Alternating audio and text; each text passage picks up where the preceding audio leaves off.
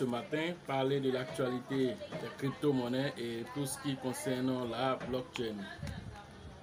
Euh, aujourd'hui, nous allons parler d'une crypto-monnaie en particulier euh, qui s'appelle le Ginza. Et le Ginza, c'est une crypto-monnaie qui est très intéressante. Donc, euh, on a détecté cela et donc on a souhaité vous C'est une crypto-monnaie qui a beaucoup de projets et qui, en tout cas, qui a euh, beaucoup d'expérience aussi. D'abord, euh, le fondateur de cette crypto-monnaie s'appelle euh, Kalugano Aron Babu. Donc, c'est un Indien voilà, qui a 10 ans d'expérience dans le domaine des finances. Il est même conseiller financier. Voilà, avec un réseau qui s'étend de l'Inde en passant par la Malaisie et jusqu'au Canada. Voilà, donc euh, la crypto-monnaie qu'il lance, c'est une crypto-monnaie game to play. Vous savez qu'actuellement, ce sont les crypto-monnaies game to play qui euh, font parler d'elles, n'est-ce pas? Et donc, euh, c'est un game to play joué pour gagner. Non seulement vous vous amusez, mais vous faites de l'argent. Et en plus de cela, il y a des applications sur la DeFi et les NFT. Voilà, donc voilà un peu de quoi parle le projet. Nous allons rentrer en profondeur dans le projet. Mais bien avant, le prix de la, pièce déjà est à 2,2 dollars. Et le supply, le nombre de pièces qui ont été fabriquées, c'est 660 millions de pièces seulement. 660 millions de pièces ont été émises. Ce n'est pas des milliards de pièces. Vous êtes habitué à des milliards de pièces. Mais ici, c'est 600 millions de pièces seulement qui ont été fabriquées. Et donc, euh, le volume de transactions au niveau euh, euh, de, 24 heures, il est à 747 000 dollars en 24 heures. Voilà. Voilà ce qu'on pouvait dire. Maintenant, en termes de tokenomique, on dira qu'il y a 65% qui est prévu pour l'extraction de la pièce. Voilà. Et c'est une pièce qui va être, comment on appelle, qui va permettre de faire des jalonnements c'est une crypto-monnaie qui va faire le jalonnement, c'est-à-dire le staking, et aussi qui va faire aussi tout ce qui est farming, pour des liquidités. Et en termes d'innovation, ils vont faire aussi ce qu'on appelle des prêts hypothécaires, mais basés sur les NFT. Voilà, donc tout ça, ça fait partie de l'écosystème qui sera émis. Et grâce à la technologie aussi blockchain, la technologie blockchain, c'est la prochaine génération euh, de, comment on appelle, de l'évolution des crypto-monnaies et de tout ce qui est blockchain. Aujourd'hui, les blockchains ne peuvent pas interagir. C'est-à-dire, si vous êtes sur une blockchain d'Ethereum, vous ne pouvez pas interagir avec une blockchain qui est sur, euh, euh, vous ne pouvez pas interagir avec une pièce qui est sur la Binance Smart Chain parce que les blockchains ne sont pas compatibles. Les blockchains ne sont pas compatibles. Donc, ce que vous devez comprendre là, c'est que la, la technologie blockchain que Polkadot a bien développé. Et elle a commencé à s'étendre sur plusieurs blockchains aujourd'hui. Et donc, euh, euh, Kinza aussi veut utiliser la technologie blockchain pour pouvoir interagir euh, avec d'autres blockchains. Parce qu'eux sont d'abord BP20, c'est une pièce BP20, c'est-à-dire lancée sur la Binance Smart. Et donc, du coup, comment on appelle, la blockchain veut interagir avec d'autres blockchains telles que la blockchain d'Ethereum et la blockchain de Polkadot. Voici leur objectif. Et donc, pour ce faire, il faudrait que euh, tout ce qui se passe sur leur blockchain soit compatible avec la blockchain qui est, sur Ethereum, avec les, par exemple les NFT, ce sont les NFT qui seront échangeables. C'est-à-dire quelqu'un qui a des NFT sur Ethereum pourra les échanger avec des NFT qui sont basés sur la Binance Smart ou des NFT qui sont basés sur Polkadot. Voilà l'objectif qui s'est donné comme comme on appelle, comme mission cette euh, plateforme. Et donc, c'est très intéressant de voir qu'on peut interagir des NFT d'une blockchain à une autre. Et ça, c'est très, très, très, très intéressant pour la technologie et vraiment pour l'évolution de la monnaie. Et grâce à cette même technologie euh, qui va combiner la défi, qui va combiner les NFT et puis le DAO, le DAO, c'est-à-dire c'est lorsque la blockchain évolue pour arriver à un point où l'intervention humaine n'est plus nécessaire. Chaque décision qu'on doit prendre maintenant, c'est autonome. Et donc, comme c'est autonome, et donc, euh, c'est la communauté qui va décider. même si on doit faire l'ajout d'une nouvelle pièce, par exemple sur le farming, voilà, ou bien le staking qu'ils ont mis en place, cette technologie-là, pour pouvoir interagir, elle, c'est par vote. Et pour pouvoir voter, il faut avoir une certaine quantité de cette monnaie-là pour pouvoir avoir un droit de vote. Voilà un peu ce que c'est que la, technologie DAO. Et donc, ils veulent arriver à ça. Et quand ils vont arriver à la technologie DAO, n'importe qui pourra créer sa propre crypto-monnaie. N'importe qui pourra créer euh, sa propre, euh, comment on appelle, son propre NFT. Et ensuite pouvoir émettre et même vendre, faire même passer ça aux enchères sur la plateforme là-bas. Voilà ce qu'ils donnent comme technologie. Ensuite, ils parlent aussi du fait que c'est vrai que les NFT vont interagir entre eux, mais eux, ils travaillent déjà avec une autre société qu'on appelle Gen Enterprise. Donc, Gen Enterprise, qu'est-ce qu'ils font? Eux, c'est une technologie, c'est une entreprise qui est basée sur tout ce qui est protection, immobilier et les actions cotées en bourse. Donc, ils travaillent en, interaction avec cette société. Et donc, pourquoi ils travaillent en interaction avec cette société? Parce que cette société, elle aussi, travaille avec euh, une autre société australienne qui est cotée en bourse. Et donc, tout ça l'un dans l'autre, ça profite l'un à l'autre. Voilà. Et donc, tout ce modèle-là, pour développer un modèle qui est basé sur la blockchain et tout ce qui est crypto-monnaie investissement. Voilà ce qu'ils développent. Et ils ont une fondation, Gen, Gen euh, Fondation, qui vise aussi à faire l'incubation des projets de NFT et des projets de défis. C'est-à-dire que tous ceux qui ont des projets qui sont basés sur la création des NFT ou bien des, comment dire, des, des finances décentralisées, d'applications décentralisées, ces projets-là peuvent aller vers la fondation Gen pour être financés. Est-ce que vous voyez? Comme la manière Binance finance c'est un projet comme Binance a financé euh, Radio Kaka qui est en train de monter très fort. Et donc, euh, vraiment, c'est vraiment très intéressant. Euh, donc, la technologie, la technologie est très intéressante. Donc, il, travaille avec Gen, Gen Foundation. Et donc, Gen Foundation fait tout ce qu'il faut pour promouvoir la blockchain et tout ce qui est, tout ce qui concerne la technologie de la DeFi. Donc, ils financent ces projets-là, comme la manière Binance Projet euh, a financé le RACA. voilà, donc du coup, c'est très intéressant de voir que euh, Ginza travaille avec euh, cette plateforme en même temps. Et donc, cette plateforme va lancer aussi, ça veut dire, comment on appelle, en, Ginza, à Ginza avec Gen vont lancer ensemble un autre NFT.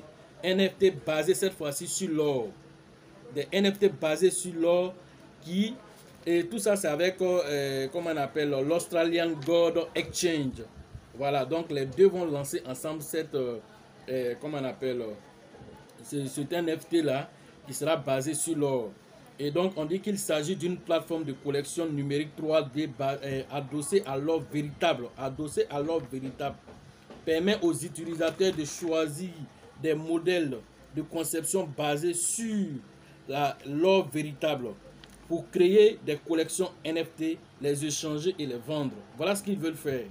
Et donc, ça serait une collaboration gagnant-gagnant parce que le fait de mettre ensemble des NFT, non seulement ils vont mettre en place, ils vont choisir des projets vraiment très intéressants qu'ils vont incuber. Et ensuite, ces projets-là, en collaboration avec Gen Technology et, et Gen Enterprise, avec euh, Ginza, les deux technologies vont mettre ensemble pour créer ces NFT là. Et ces NFT seront basés sur l'or. Et ça, c'est une information très importante à signaler.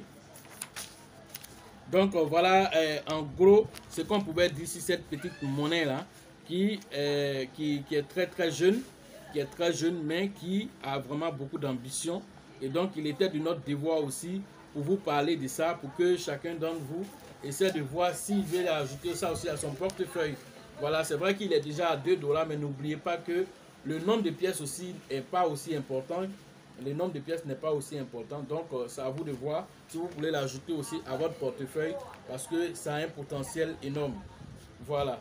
Et surtout, même vous savez que le marché des NFT est en train d'exploser actuellement. On ne peut pas parler de, de, de, finances décentralisées sans NFT aujourd'hui. Voilà, les NFT maintenant sont combinés maintenant au jeu et donc, du coup, l'évolution de tout ça, c'est pour aller vers les métaverses. Donc, tout ça, comprenez tout ça avant de faire, prendre des décisions.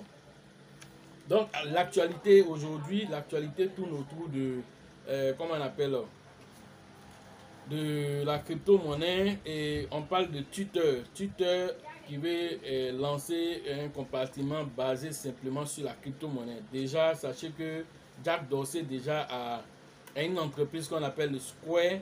Et Square, déjà, eux, vendent des crypto-monnaies. Donc, Jack Dorsey, c'est un pro-Bitcoin. C'est un pro-Bitcoin. Donc, là-bas, cette société-là vend déjà des Bitcoins. Et maintenant, ils, veulent, ils font aussi, ils veulent maintenant mettre en place une structure qu'on appelle Twitter Crypto. Et cette euh, partie-là sera gérée par quelqu'un et cette personne va pouvoir créer de la valeur à partir de là. Donc, tous ceux qui vont créer des contenus maintenant sur Twitter, bientôt ces contenus seront payés en pouvoir BTC et NFT. Donc, chaque fois que vous allez mettre des sujets et des sujets sur, comment on appelle, Twitter, en tant que créateur de contenu, vous serez payé en NFT et en BTC. Voilà ce que ça signifie. Et ça, ça va faire révolutionner le monde encore de la crypto-monnaie. Si, si tu te les gens pour déposer des contenus, c'est que Facebook aussi doit nous payer aussi. Parce qu'il n'y a pas de jour qui se passe sans que certaines personnes même postent des photos, de quoi, de tout ce que vous voulez.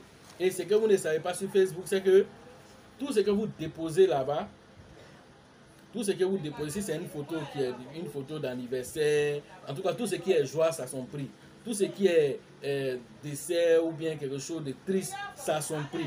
Et tout ça, Facebook monétise tout ça en fait. Est-ce que vous ne savez pas Est-ce que vous voyez? Donc si Jack Dorsey met en place euh, le, fait qu'un contenu soit payé en pouvoir BTC et en NFT, Facebook aussi, je pense qu'ils vont suivre aussi. Alors si vous imaginez que si Facebook commence à dire, bon, si tu viens poster une photo, si tu viens faire une publication, tout ça, tu es payé comme YouTube le fait déjà. Donc du coup, imaginez-vous tout ça, l'impact, et puis on te dit que ça sera en crypto-monnaie. Imaginez l'impact de tout ça sur le Bitcoin et toutes les crypto-monnaies. Voilà ce que ça signifie. Quand un géant comme ça sort pour faire ce genre de choses, les autres vont forcément limiter parce qu'il va créer de la valeur, il va créer quelque chose comme un buzz dans le site. C'est-à-dire euh, comme on appelle le buzz qu'il va créer, tout le monde va aller vers le Twitter maintenant pour aller écrire n'importe quoi là-bas, mais l'essentiel est être payé. voilà, donc c'est de ça qu'il s'agit. Maintenant, on vous parle aussi de OpenSea. OpenSea qui, est une euh, plateforme qui une plateforme basée généralement sur euh, comment on appelle l'Ethereum pour la vente des NFT. On dit qu'ils viennent d'atteindre 10 euh, milliards 10 milliards de dollars en chiffre d'affaires. C'est extraordinaire. Voilà, ils étaient autour de 780 millions. Et du coup, en deux, du, deuxième au troisième trimestre déjà, ils sont passés déjà à plus de 5,9 milliards de dollars. Donc à, l'heure actuelle, le chiffre d'affaires est évalué autour de 10 milliards. Pour dire que le marché NFT est un marché porteur actuellement. Surtout avec le métavers qui est arrivé, où on peut prendre les NFT, interagir. Vous allez voir aussi quand le Shiba aussi, euh, le, son, son métavers va être lancé, les, ceux qui ont acquis les NFT vont aller interagir avec euh, directement comment on appelle, le jeu de, de, chip game. Et donc, tu vois, tout ça, c'est intéressant pour dire que l'activité est en train d'avancer, les crypto-monnaies sont en train d'évoluer, la technologie évolue, et vous aussi, vous devez évoluer en vous formant pour que tout ça là ne vous dépasse pas, vous ne soyez pas dépassé par les événements. Parce que si tu ne suis pas l'actualité, tu délaisses. Si moi, il faut revenir, tu, tu es perdu, tu ne te retrouves plus dans le marché. C'est comme ça que ça marche. Donc, il faut être constamment et puis, il faut être là en train de se former. Même si tu étais déjà formé une première fois, après un certain nombre de temps encore, reviens encore te former. Tu vas apprendre encore des choses nouveaux. Tu ne peux pas dire, je me suis déjà formé une seule fois, c'est fini. Non. Tant que tu n'as pas encore le pied raide de toi là, on apprend toujours. Voilà de quoi il s'agit. Donc, n'oubliez pas aussi que Yoshi Token, Yoshi Token aussi, il y a aussi des NFT là-bas. Sa particularité aussi, c'est les de faire le staking des NFT et puis de faire le mining des NFT. Tout ça pour vous générer encore des Yoshi. Est-ce que vous voyez? Donc tout ça, on peut le faire au lieu de payer des NFT, aller les déposer ou les prendre pour les envoyer sur une autre plateforme comme OpenSea pour aller les vendre directement chez Yoshi. Quand vous payez ça, ça y est là-bas, vous les stickez là-bas et puis vous gagnez de l'argent là-bas. Ça, c'est très intéressant à noter. On note aussi que le Zimbabwe, le Zimbabwe aussi envisage l'adoption des crypto-monnaies comme moyen légal de paiement. Et donc, si le Salvador l'a fait, pourquoi les autres ne vont pas le faire? Si ça marche là-bas. ils ont été comme la phase pilote, donc les autres vont, aussi aller dans ce sens. Le Brésil aussi, aussi en train de d'envisager cela, au point même que déjà le Brésil, le Brésil dit quoi? Le Brésil veut autoriser, euh, comment on appelle, les paiements, les paiements de salaire. Le Brésil veut autoriser les paiements de salaire en crypto-monnaie. Et ça, c'est très intéressant. Tout ça, ça montre déjà la volonté des gens d'aller vers la crypto-monnaie. Et c'est ce que j'étais en train de vous dire. Quand je disais dans, la vidéo où je disais, le flux d'argent vient vers les crypto-monnaies. Tu recevais ton salaire en fiat. Maintenant, tu vas recevoir en crypto-monnaie. Maintenant, c'est quelle crypto-monnaie? Peu importe la crypto-monnaie là, c'est de l'argent qui vient dans le monde de la crypto-monnaie. Et c'est la capitalisation globale de la crypto-monnaie qui est autour de 3 000 milliards de dollars aujourd'hui qui ira autour des 100 000 milliards de dollars. Des choses imaginables que vous ne pouvez pas vous projeter dessus.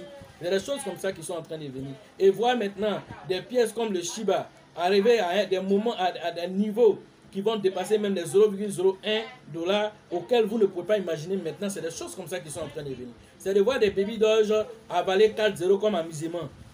C'est de voir des Yoshi passer à 0,1 dollar. Donc tout ça, c'est des choses qui sont envisageables c'est des choses que vous devez vous projeter quand tout ces flux d'argent. C'est pourquoi on fait ce genre d'actualité, pour que vous essayez de mettre le puzzle ensemble pour voir l'image que ça projette. Voilà, ça vous permet de voir où on est en train de partir. Où on dit, suivez la trace de l'argent. où l'argent est en train de partir là. Tu suis la trace, tu sais où toi tu dois aller mettre ton argent. Mais si toi tu ne suis pas la trace de l'argent, tu investis comme ça.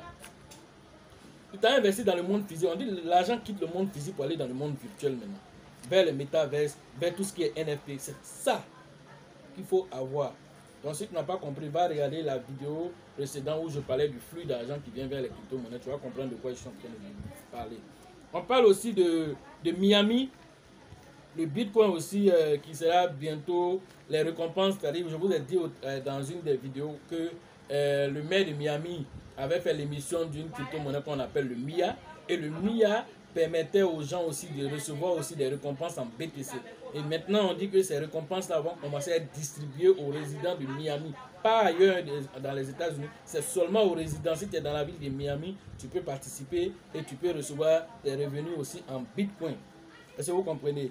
Et ils autoriseront aussi, euh, euh, comment on appelle le, le Bitcoin aussi comme moyen aussi de paiement. Tout ça, ça nous donne quoi comme information? Ça nous dit vraiment de rester dans le monde de la crypto-monnaie et que tout ce qui est en train de se passer au monde, dans le monde de la crypto-monnaie, c'est des choses qui sont très intéressantes et c'est des choses qui nous font plaisir parce qu'on sait que nous faisons partie des privilégiés. 195 millions d'individus aujourd'hui utilisent la crypto-monnaie. En fait, quand on dit utilisent, sont informés de la crypto-monnaie. C'est seulement que 30% qui ont réellement investi dans le monde de la crypto. 30, 30 millions de portefeuilles qui sont vraiment des investisseurs de la crypto-monnaie. Sinon, les 95 millions de personnes, ça ne veut pas dire que les 95 millions de personnes ont tous des crypto-monnaies. Non. Ils sont informés de la crypto-monnaie. Ils ont au moins essayé de voir comment ça se passe. Mais les actifs, là, c'est autour de 30%. Voilà de quoi ça, ça, parle. Et donc, vous faites partie, vous êtes des privilégiés et vous savez de quoi, euh, euh, comment on appelle, de quoi il s'agit. Aux États-Unis, 60% de la population ignore c'est quoi la crypto-monnaie. Et de sorte qu'on a fait une interview en posant la question à, des jeunes Américains comme ça, pris au pif comme ça, on, dit, on leur demande si on te donne 100 dollars ou bien un bitcoin, c'est lequel tu vas prendre. Et de lui prendre 100 dollars. Est-ce que vous comprenez? On lui donne un bitcoin qui est autour de 64 000 dollars actuellement. Lui n'est pas courant, c'est même pas, comme il ne sait pas de quoi on appelle, c'est quoi on appelle bitcoin, lui dit son dollar qu'il connaît là, c'est 100 dollars. Donnez-lui 100 dollars. Tout ça pour démontrer que 60% de la population américaine, le pays le plus puissant du monde, ne sait pas ce qu'on appelle crypto-monnaie. Toi, tu es ici en Afrique, ici, tu es aux Antilles, tu es, pas, tu es ici, et toi, tu sais de quoi on parle dans la crypto-monnaie. Tu as même investi, tu as un portefeuille, tu es un privilégié. Voilà de quoi nous sommes en train de parler. Et donc, vous ne devez pas vous négliger, vous devez seulement, ce que vous devez faire de plus, c'est de vous former. Parce que quand tu es formé, non seulement tu investis, mais tu es un bon investisseur. Ça te permet d'être un bon holder. Ça te permet, si tu veux même faire du trading. Mais en tout cas, tu es bien calé et tu avances avec cette technologie sereinement. Avec un portefeuille sécurisé, avec une technologie avancée. Et tu es tranquille pour faire ton holding tranquille. Voilà ce qu'on pouvait vous dire aujourd'hui sur le monde de la crypto-monnaie.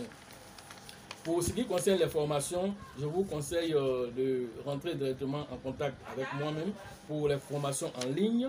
Voilà, euh, les, les formations physiques pour ceux qui sont dans la zone de Boaké et des environs. Maintenant, pour ceux qui sont à Abidjan, la formation prochaine, c'est prévu pour le mois de février, la deuxième édition. Donc, rentrons en contact avec le leader Elisabeth et le, grand leader Bill. Voilà pour vos différentes inscriptions. Parce que la, liste est déjà ouverte et c'est en train d'avancer très rapidement. Pour ne pas que vous venez encore et qu'on vous dise que la liste est fermée.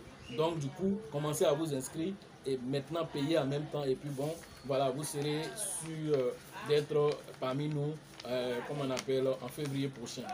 Pour ce qui concerne la formation au niveau du Burkina, la deuxième édition, c'est pour très bientôt, très très bientôt.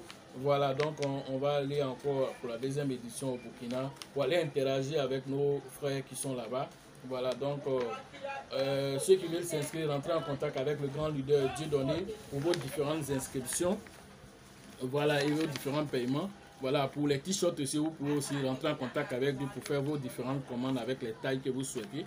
Maintenant, pour la formation au niveau du, du Sénégal, vous rentrez en contact avec le grand leader Maman là-bas pour pouvoir faire vos inscriptions là-bas. Voilà. Pour la formation au niveau de, de San Pedro, vous rentrez en contact avec le grand leader eh, Joseph pour vos différentes inscriptions dans cette zone là-bas parce que la liste est en train de grossir déjà là-bas. Pour aussi la, la formation au niveau de, comment on appelle, de la RDC, le grand leader, le grand leader, euh, comment on appelle, Faustin, qui déjà en train de mettre tout en œuvre, déjà quelque chose qui doit se passer l'année prochaine. Déjà, les réunions ont lieu chaque samedi là-bas pour pouvoir faire déjà l'organisation. Donc, euh, tout le monde déjà que la volonté y est et, il, nous, nous promet quelque chose de balèze là-bas. Et donc, euh, nous avons hâte aussi d'être là-bas pour communier avec nos frères du Congo. Voilà. Pour la formation au niveau de, comment on appelle, d'Abengrou, toujours en Côte d'Ivoire. Voilà, donc à deux villes pour le moment, Abengrou et puis San Pedro. Donc pour ces deux villes, oui, j'oubliais, Daoukro vient de s'ajouter à la liste. Voilà, donc on a trois villes en Côte d'Ivoire, San Pedro, Aetibi, Abengrou avec le grand leader et, Yapi. Voilà, pour vos différentes inscriptions, vous rentrez en contact avec ce dernier. Voilà, maintenant pour Daoukro qui vient de s'ajouter à la liste, le grand leader Yaya aussi est là-bas. Voilà, vous rentrez en contact avec Yaya là-bas pour faire vos différentes inscriptions et paiements là-bas. Et dès que nous avons atteint le nombre qu'il faut, nous allons lancer la formation.